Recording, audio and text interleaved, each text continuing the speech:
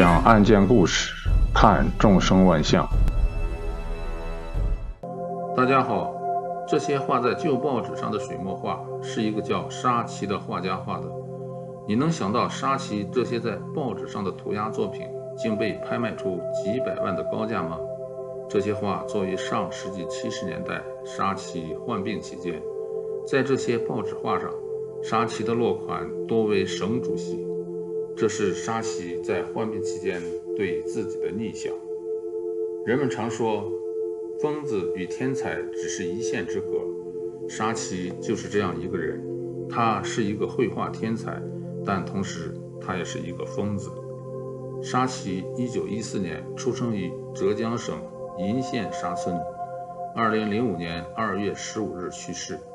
他是中国现代油画史上重要的人物之一。但他生前并不是很出名，他是一位颇有传奇色彩的画家。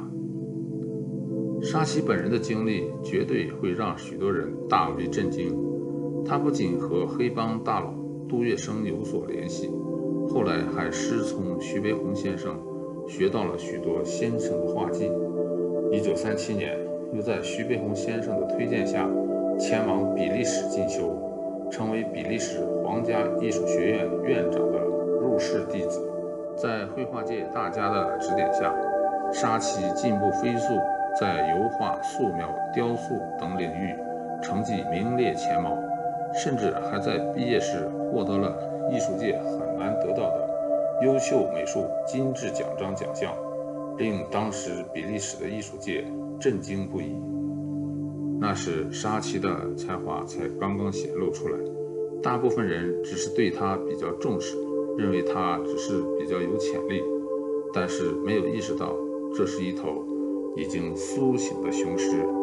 当他创作的作品参与几次画展之后，众人才意识到这位年轻人的实力究竟有多强悍。至今为止，比利时王室还收藏了他创作的吹笛女。可以看出沙奇的实力不容小觑。沙奇在比利时生活学习了八年之后，1946年，他选择离开了这个国度，开始周游列国。在旅游的途中作画。在离开比利时的次年，沙奇不幸患上了精神分裂症，因此只能结束在国外的旅行。他在中国大使馆的帮助下。回到了家乡鄞县养病，而沙奇本人也在养病的时间里被人遗忘。期间，徐悲鸿还曾推荐他去当一名艺术专科学校的教授，但是因为病情没有成行。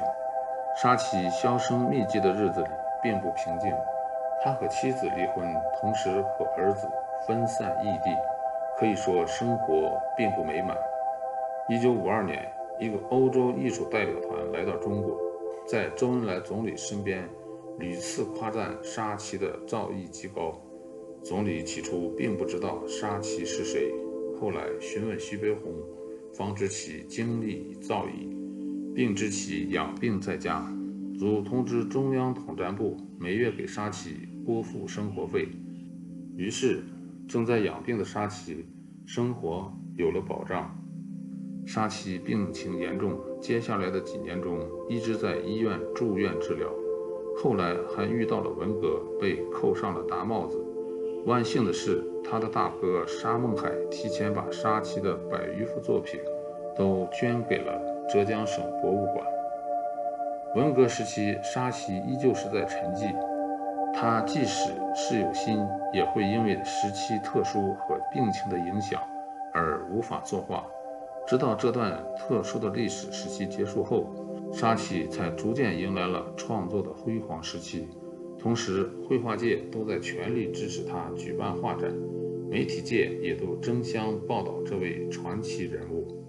沙奇的热度持续了一段时间，后来他再次回到乡间作画，开始游历祖国的大好河山，并且留下了大量画作。沙奇很喜欢绘画。但是无奈于晚年又患上脑中风，不得不放下手中画笔，然后被儿子接到上海一家医院治疗，最终在医院里度过余生。他真正被大众熟知，其实还是在近几年，沙奇在报纸上的涂鸦作品被拍卖出几百万的高价，人们才意识到这位画家究竟有多伟大。许多绘画界知名人士都高度的评价他，认为他是近百年来最富有个性的艺术家之一。他拉近了中外油画水平的差距，是不可忘记的存在。沙奇确实是一位不应该被忘记的天才艺术家，他的作品只会让人越加喜欢。他的个性与天赋是独一无二的，这样的人会在历史长河里灼灼生辉。他的作品今后不会再暗淡下来。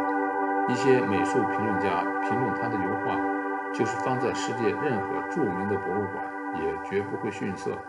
他的作品可与梵高、塞尚等西方油画大师相提并论。今天的视频就到这里，感谢大家观看、点赞、订阅，我们下期再见。